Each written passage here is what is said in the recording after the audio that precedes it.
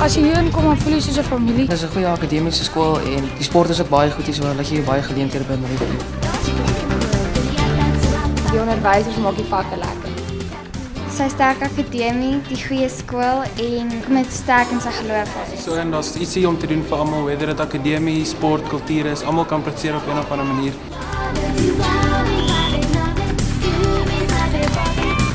Almal is vriende met almal, al die grade is met almal net vriende en dit is net baie lekker.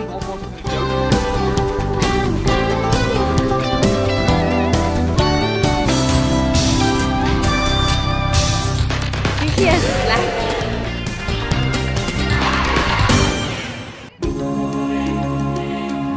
Want daar's soveel geleenthede en kansse wat ons kry met sport, akademie, kultuur, alles. Dis net 'n fantastiese skool. Goeie tye wat ons almal saam as vriende gehad het en al die goeie onderwysers en dis net 'n baie lekker skool om. Ons skool is baie uniek.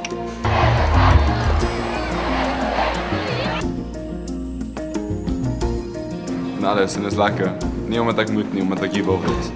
Ons het regtig 'n super cool skool.